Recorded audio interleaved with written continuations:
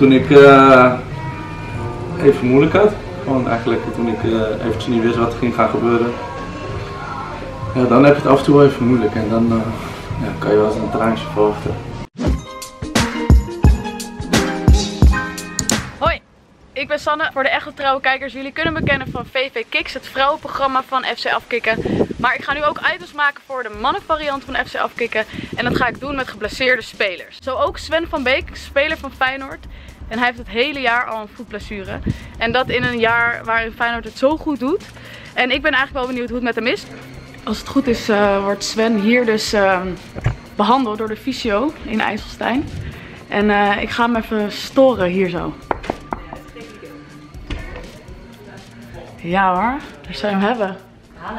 Hallo. Hallo. Hallo. Hoe gaat het hier? Goed. Ik ben een beetje beter. Ja? Ja. Maar ik zie hier wel krukken liggen op de grond. Ja, het is niet helemaal beter, maar uh, nu in het proces maak ik wel weer kleine stapjes. Eigenlijk is het begonnen doordat ik een, uh, een gebroken botje had in de voet. Mm -hmm. En daardoor uh, heb ik een, een slijmbeursontsteking ook gekregen. En uiteindelijk ja, is dat allemaal, allemaal beter gegaan. Alleen nu de, de, laatste prognose is dat ze weer vocht hebben gevonden in de voet. Hoe zie je het voor je de komende weken, maanden? Um, ik hoop zo snel mogelijk ja, gewoon weer kleine stapjes uh, te maken naar boven. Alleen wanneer dat precies gaat gebeuren, dat weet ik niet. Dus ik ga ook niet echt hopen op, uh, op een tijdstip. Denk je dat je nog gaat spelen dit seizoen? Dit seizoen denk ik niet. Je ziet er niks aan. Dat is niet die. Oh, het is deze? ja.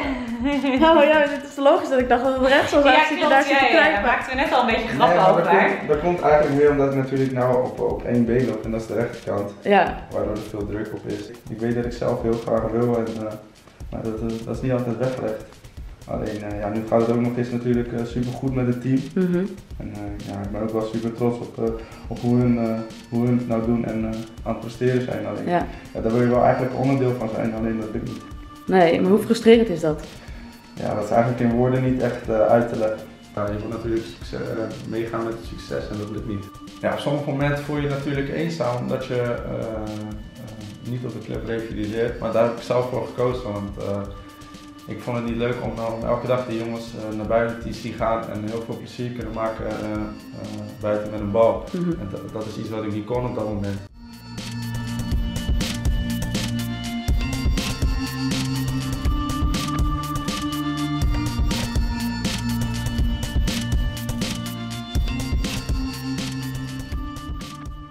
Gaan we even een balletje trappen?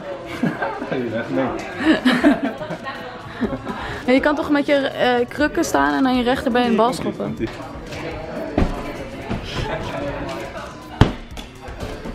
Aanname hoor. Bloed, zweet en tranen. Heb je al tranen gehad? Ja, ik heb al tranen gehad, ja. Toen ik uh, even moeilijk had, gewoon eigenlijk toen ik uh, eventjes niet wist wat er ging gaan gebeuren.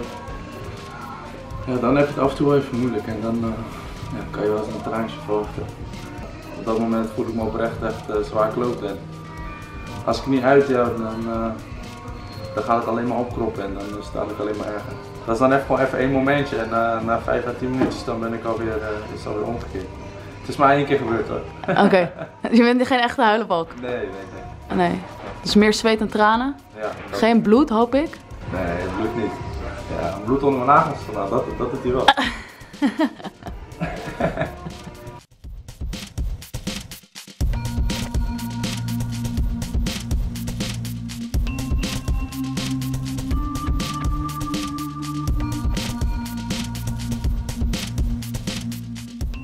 Die momenten dat je op het veld hebt gestaan, die heb je ook weer gehad dit jaar. Ja.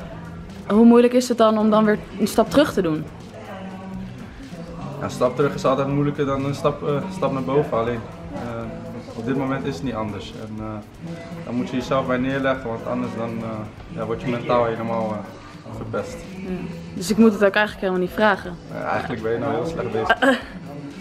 Oké, okay, ik, ik zou mijn mond houden. Ga maar gewoon hartstikke hard doortrainen dan. Ja. 你说话。